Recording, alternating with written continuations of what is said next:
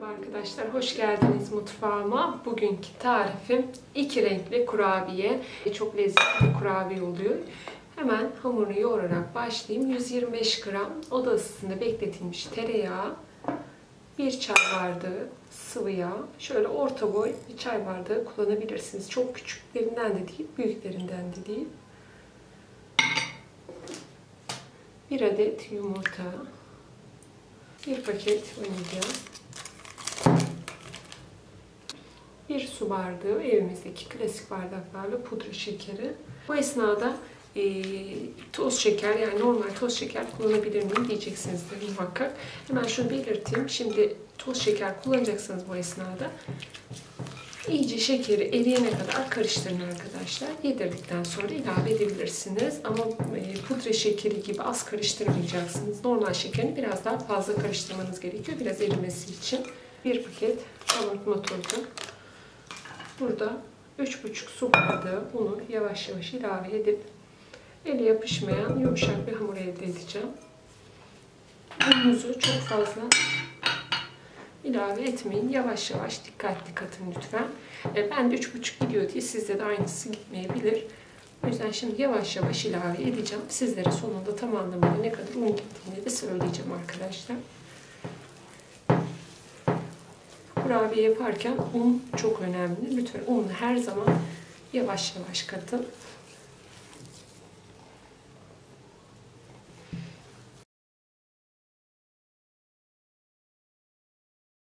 Hamuru yoğurdum. Tam bir yemek kaşığı un kaldı arkadaşlar. Siz de iki buçuktan sonra yavaş yavaş ilave edin. Sizde de üç aşağı beş yukarı aynı gidecektir. Şimdi kakao ilave edeceğiz. Kıvamını şöyle alınca eliniz böyle hafif yağlı olsun.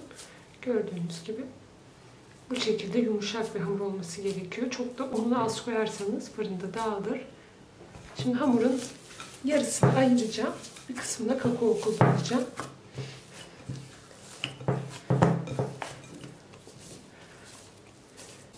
Ve kenara alıyorum.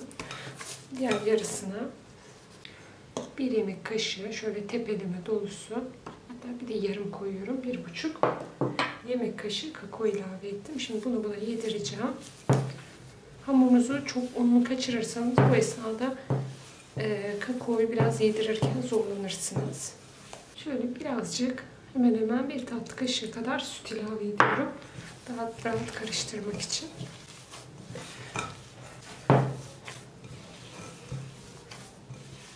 Şimdi iki hamurum da hazır arkadaşlar. Onu şöyle kenara alayım. İki tane eşit yağlı kağıdını kestim. Şimdi bir tanesini üzerinden alıyorum. Bu yağlı kağıtları gene kurabiye e, tepsinin altına kullanacağım arkadaşlar. İlk önce sadeyi açsam daha iyi olacak. Sadeyi şöyle oturtturuyorum. Üzerine diğer yağlı kağıdı oturtturup açıyorum.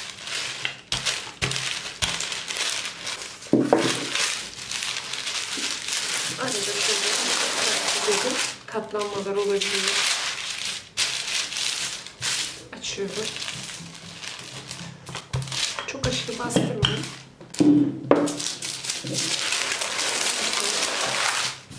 Çeviriyorum. Ara ara böyle çevirerek ince bir tabak halinde açacağım. Çok böyle düzgün olması için uğraşmayın.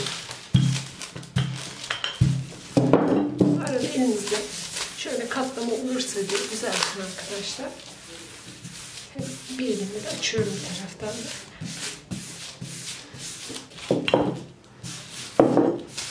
Tamamdır. Yeterince açtım. Üzerindeki kağıdı alayım. Bunu kullanacağım ama altındaki dursun arkadaşlar. Onu kenara aldım. Orada beklesin. Diğer hamur içinde yine şöyle başka bir yağlı kağıdı aldım. Onu da üzerine kapatıyorum. Bu yağlı kağıtlarını atmıyorum arkadaşlar ben. Böyle katlayıp börek çörek bir şey yaptığım zaman kullanıyorum. Şimdi şöyle göstereyim. Bunu da aynı şekilde açıyorum.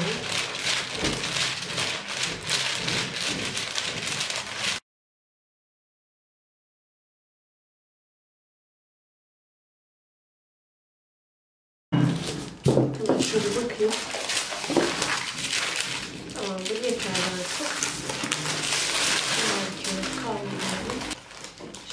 Kısmını sade, iç kısmını kakaolu yapacağım.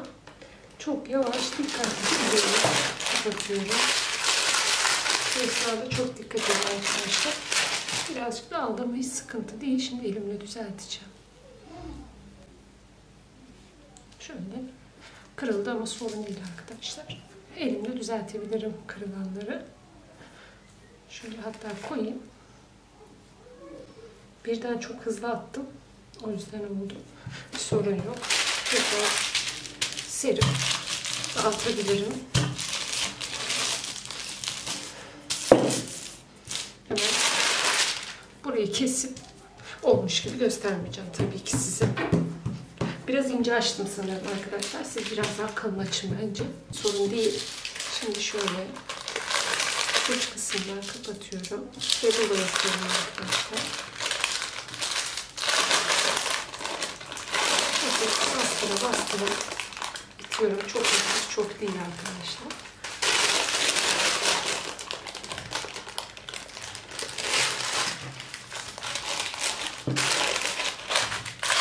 Sardıktan sonra şöyle tekrar hafif güzelse güzelse tekrar sarıyorum. Şimdi dolaba kaldıracağım. Eğer vaktiniz varsa arkadaşlar e, bir saat kadar dinlendirin ama benim vaktim yok. Buzluk kısmına kaldıracağım. Bir 10 dakika buzlukta tutup çıkartıp keseceğim. E, kenarlardan ufak kalan kurabiyeleri de e, bu şekilde karıştırıp yuvarladım. Böyle de çok güzel oluyor aslında. Bu şekilde bile yapabilirsiniz. Hemen 15 dakika buzlukta dinlendirdiğim hamuru açıyorum. Sizler daha fazla dinlendirirseniz e, birinki daha güzel olacaktır.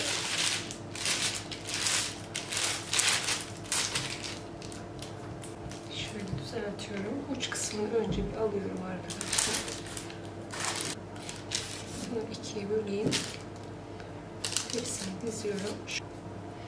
Elimle düzeltip uç kısımlarını önce bir koyayım. Şöyle tepsiye. Yağlı kağıdı tekrar tepsiye koydum. Şimdi birer parmak aralıklarla kesiyorum. Tepsiye kesiyorum.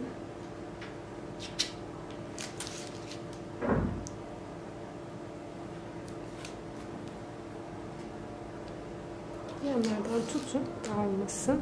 Ben çok fazlasıyla buzlukta bekletemedim arkadaşlar. Sizler en azından bir saat dinlendirin. Keserken şöyle iki elinizle tutun. Ondan sonra kesin. Bu esnada keskin bir bıçak kullanın. Tepsiye diziyorum.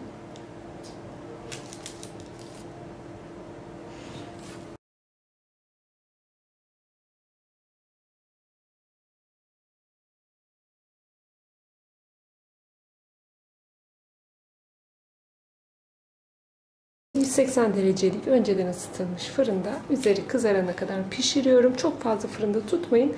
Ortalama önceden ısıttığınız fırında bir 15 dakikada pişecektir. Kurabiyeyi çıkardım arkadaşlar. Biraz fazla bile kızartmışım. Bazı aksilikler yaşadım ama kurabiyem harika olmuş arkadaşlar. Ee, böyle dilim dilim kesmek istemiyorsanız e, elinizle koparıp koparıp yuvarlayabilirsiniz. E, uçlarından aldıklarım da gayet güzel olmuş. Bu şekilde bile yapabilirsiniz. Tadı harika, ağızda dağılan yumuşacık bir kurabiye olmuş. Çok da güzel. Kızardı. Toplamda tam 15-20 dakika arasında pişti arkadaşlar. Ve sizler biraz daha şöyle e, beyaz bırakın kurabiyelerinizin. Benim birkaç tanesi fazla bile kızardı. E, fırında unutmuşum arkadaşlar yemek yemeğe dalıp. Şimdi servis tabağına alıp videomu burada bitiriyorum. Umarım sizler denedikten sonra çok daha güzel sonuçlar alırsınız. Eğer ki kanalıma abone değilseniz bu videodan sonra abone olup videolarımı beğenip arkadaşlarınızla paylaşmayı, ufak da olsa bir yorum bırakmayı unutmayın arkadaşlar.